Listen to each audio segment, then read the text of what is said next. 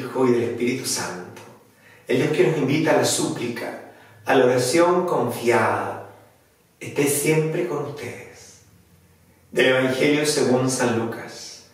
Mientras Jesús estaba en una ciudad, se presentó un hombre cubierto de lepra. Al ver a Jesús, se postó ante él y le rogó, Señor, si quieres, puedes purificarme. Jesús extendió la mano y lo tocó diciendo, lo quiero, queda purificado. Y al instante la lepra desapareció. Él ordenó que no le dijera a nadie, pero añadió, ve a presentarte al sacerdote y entrega por tu purificación la ofrenda que ordenó Moisés para que le sirva de testimonio. Su fama se extendía cada vez más y acudían grandes multitudes para escucharlo y para hacerse sanar de sus enfermedades. Pero él se retiraba a lugares desiertos para orar.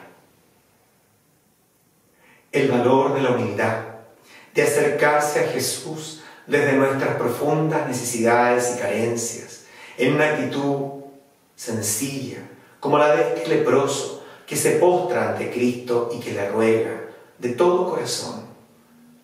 Si quieres, solo si lo deseas, Señor, tú puedes purificarme, tú puedes sanarme, yo confío en ti. Es esa la actitud del creyente, de los leprosos de ayer y de siempre.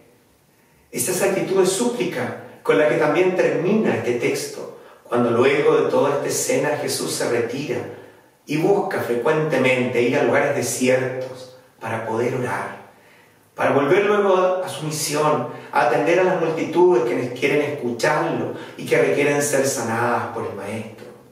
Se retira a lugares desiertos para orar.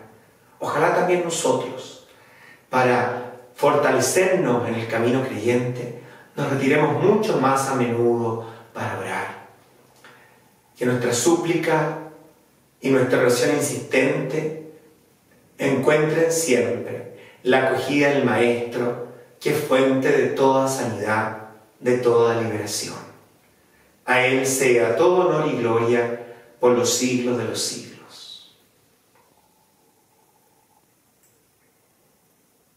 Creo, Jesús mío, que estás real y verdaderamente en el cielo y en el santísimo sacramento del altar.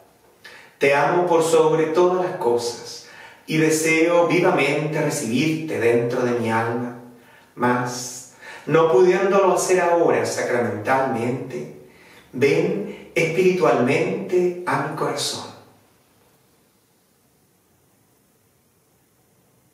Y como si ya te hubiese recibido, te abrazo me uno del todo a ti. Señor, no permitas que me separe de ti. Que le bendiga el Dios que es Padre, Hijo y Espíritu Santo.